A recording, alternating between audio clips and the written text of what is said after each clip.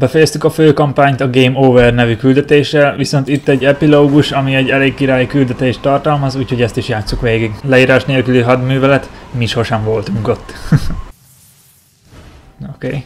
szóval ide fogunk bejutni. itt is vagyunk. Meg kell találni a VIP-t, három percünk van rá. Szép csöndbe haladhatunk. De csak eddig. Most pedig már hajrá, idejére megy ez az egész. Egy repülőgépen vagyunk. Nincs szó arról, hogy kivel jöttünk. Csak egy csapat.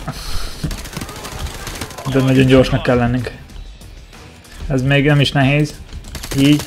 De veteránon azért már elég durva teljesíteni. Földre. wow.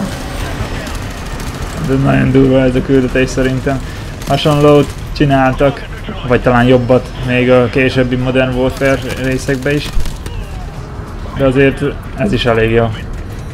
Hát, hogy nem túl, nem túl hosszú ez a küldetés. De jó, hogy beletettek egy ilyet a főkampány utánra. A World várba, ami a Modern Warfare után érkezett, oda mondjuk a zombi módot tették, az meg hova nőtte ki magát. Viszont előtte még nekünk meg kell menteni azt a VIP-t. Very important person. Oha. Van a gazpicka. Mellette. Lelejtük igaz. Jó, megmentettük. Oké. Okay. Hagyjuk el. Hagyjuk el a repülőt. Na gyerünk. Kinyitjuk az ajtót. Bombát hatástalanítja valaki, vagy nem?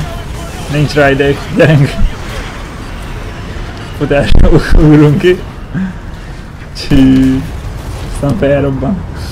És itt egy ilyen kép. Köszönjük, hogy játszottál. Hát ez nagyon király játék volt, szóval én köszönöm, hogy ezt elkészítették. Ez nem csak erre az egy küldetésre igaz, hanem magára, erre a játékvezetésre, hiszen tudjátok, hova nőtte ki magát e rész után a Call of Duty sorozat. Szóval ezzel fejezem be ezt a végigjátszást, remélem tetszett nektek, remélem lesznek még remasterök későbbi részekből is, viszont folytatjuk az időben megjelent Call of Duty-kkal egy toppot videó után, úgyhogy találkozunk legközelebb.